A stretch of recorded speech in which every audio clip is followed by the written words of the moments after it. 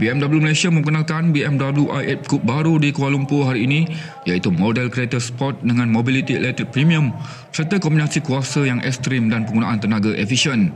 Model dengan teknologi kenderaan hybrid plug-in itu bercitakan sini bina kenderaan live drive serba baru yang akan dipasang untuk kesemua model BMW i-Club dan juga penerima penarafan anugerah IF Design dan anugerah Red Dot. Ia adalah konsep rekaan pintar dengan struktur terbahagi daripada chassis aluminium dan sel penumpang gentian karbon CFRP menawarkan pengendalian terbaik dengan kesesaan optimum untuk tempat duduk 2 tambah 2. Bentuk BMW i8 ini dipadankan dengan bonet yang rata, jarak roda lebih panjang, kelebaran roda dan garis bumbung landai ke belakang yang ditonjolkan dengan set pintu gunting.